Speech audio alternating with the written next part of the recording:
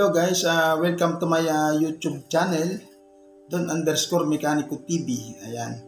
Meron po akong ibabahagi sa inyo uh, about sa pag uh, kabit ng timing belt ng uh, PH16. Uh, makina po ito ng uh, Honda ESI. Tutorial ko po sa inyo kung paano ikabit po at saka yung tamang timing niya. Uh, ipapakita ko po sa inyo sa video natin ito. Ayan. Please like and subscribe po sa aking uh, channel kung hindi pa po kayo nakasubscribe.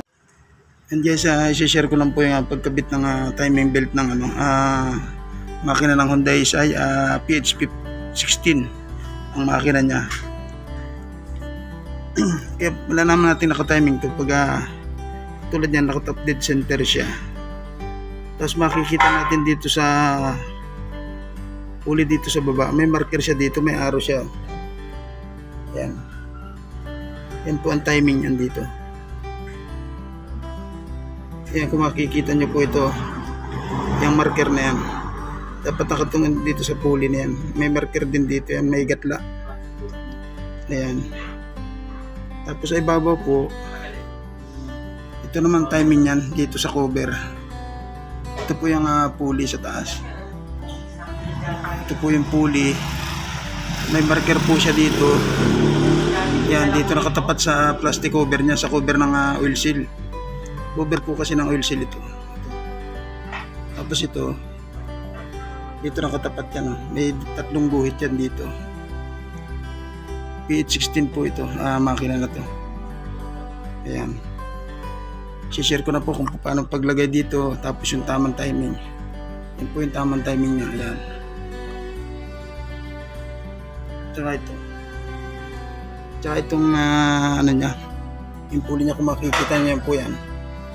Iseset na po natin yung timing belt niya. Ayan. Yan, kailangan mag-adjust ito sa baba. Nakapress muna itong uh, uh, tensioner niya.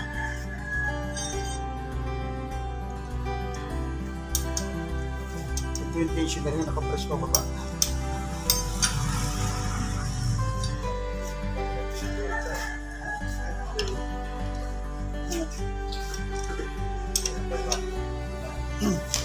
Yung tensioner na tinatawag natin, belt tensioner. Timing belt tensioner po ito. Dapat nakatulak pa baba yan. Para pag kinapit natin to, nakapress na siya. I-release natin to pag uh, kapag nakakapit na yung timing belt ito, lulugan natin itong 14 mm double. Ito po yan. Kakapit ko na po yung, ano, yung uh, timing belt niya. Nasa tamang timing na, kakapit na po natin, taas at saka baba.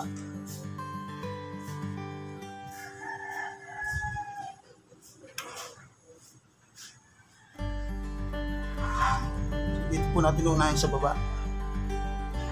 Kasi nandito na po nakamargan nga nakatiming na siya. Nakatiming na siya dito.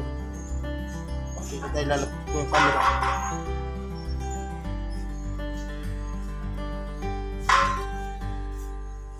So ang pwesto po na dito siya. Yung po ang tamang pwesto ng ano. Unahin po muna natin dito. Sa kabila. Okay, paikot dito sa kabila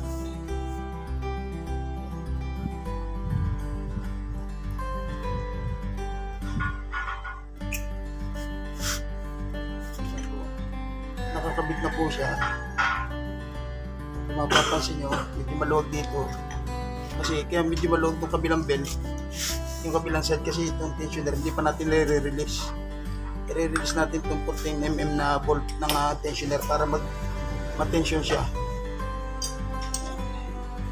I-release ko na po siya. Ayan. Ayan. Kung makita nyo po, nagbago, humigpit siya.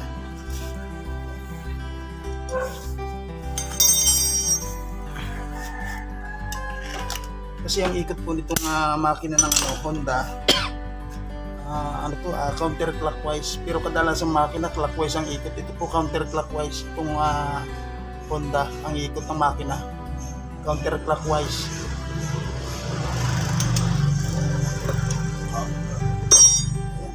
Po siya. And kita na lang natin detention na lang natin to para mas ma-higpit siya lang po.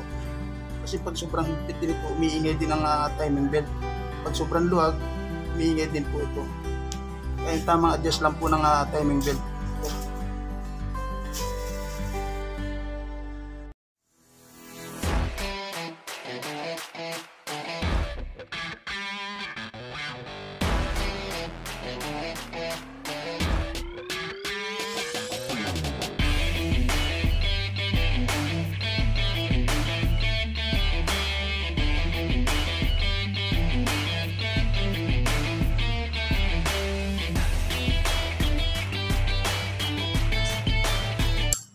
Ipapain na po natin ang higpit itong ah, ano, crankshaft ah, bolt niya.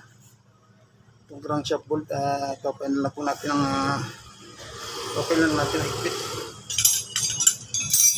Bali ganito yung gagawin natin, papaluin natin yan. Po para mahigpit para hindi malumuwag to. Kasi pag maluwag to, possible na matanggal, tutukod ang barbula sa piston. So mangyayari nito, sisirain po yung makina. Yan, okay na po yung kinabit natin yung timing belt. Papakita ko po sa inyo ulit ang settings. Ayan po, ah, naka nakapit na po ang ah, timing belt natin. Ayan, ito makikita ang timing. Katapat yan dito sa kanto ng ah, plastic na yan. Pero itong pinakamarker na, yan. Mapapansin nyo nakatapat siya dito. Dito. Tapos sa baba, ito. Yung marker niya dito, yung arrow. Yung arrow na yan, papunta dito yan. Yan, makikita nyo yan.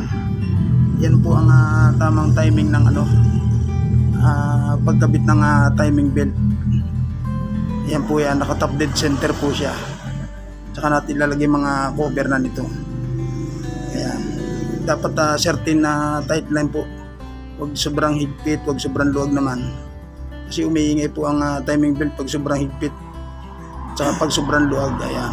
Okay na po siya, nahigpitan na po natin itong ah, bolt dito sa tensioner niya. So kukubiran na po natin to. Spacer pa po ito dito. Tatanggalin natin itong ah, bolt na ito para may lagay itong spacer niya. Purpose nito para hindi lumabas yung ah, timing belt. Ito may cover siya dito.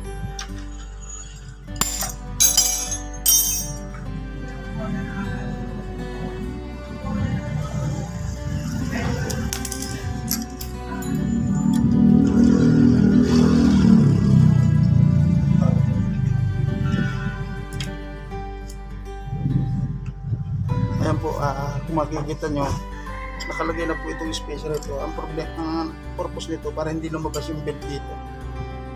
Tapos lalagyan na natin ang cover.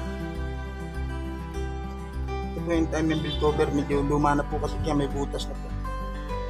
Kaya nagaganito to may butas kasi dati siguro yung pulley niyang ah, dati sira na. Kaya nagwiwigil kumakay dito.